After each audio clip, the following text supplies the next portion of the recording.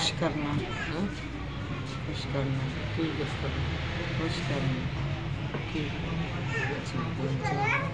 ਤੂੰ ਤੇ ਰਹਿ ਰੰਗ ਕੋਲ ਤੂੰ ਹੁਣ ਮੈਂ ਜਿੱਥੇ ਉਹ ਤੂੰ ਬਾਹਰ ਆ ਕੇ ਪੈ ਗਈ ਮੈਂ ਤਾਂ ਕੱਪੜੇ ਬਦਲਣ ਗਈ ਹਾਂ ਨਹੀਂ ਮੈਂ ਭਾਣੇ ਨੂੰ ਕਿਹਾ ਮੈਂ ਨੀ ਜਾਣਾ। ਭੈੜੀ ਵਜ੍ਹਾ ਵਾਲੀ ਕੱਪੜੇ ਬਦਲ ਕੇ ਆ। ਮੈਂ ਉੱਥੇ ਡੀਕਦਾ ਮੈਂ ਕਿ ਨਹੀਂ। ਦੇਰ ਕੱਪੜੇ ਬਦਲਣ ਦੀ ਲਾਤੀ ਬਾਹਰ ਆ ਕੇ ਵੇਖ ਮੈਡਮ ਪਈ ਹੋਈ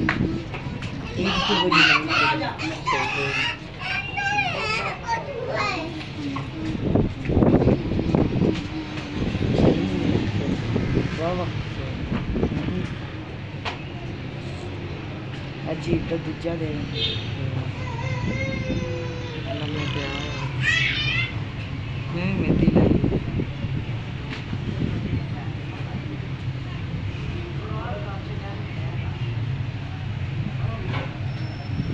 ਮੇਤੀ ਵਾਲੀ ਉਹ ਤਾਂ ਇੱਕ ਸ਼ਾਇਦ ਸ਼ਮੀਰ ਸ਼ਮੀਰ ਦੇ ਵਿੱਚ ਹੁੰਦੇ ਕੋਈ ਖਰਾਬ ਹੋ ਗਈ ਲੈਣੇ ਆ ਕਿ ਮੇਰੇ ਕੋਲ।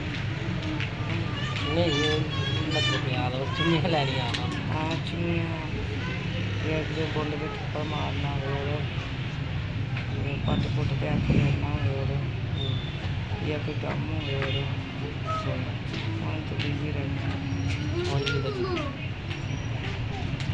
ਤੇ ਹੈ ਬੰਦਾ ਇੱਕ ਉਹਦੇ ਨਾਲ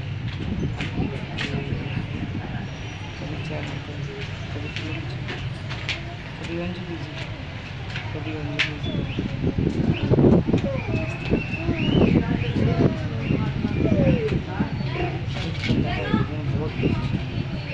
ਖੇਲਾ ਪਰ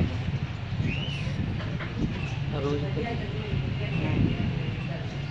ਰੋਜ਼ ਬੇਟੇ ਘਰ ਜਾਂਦੀ ਅੱਜ ਕੱਲ੍ਹ।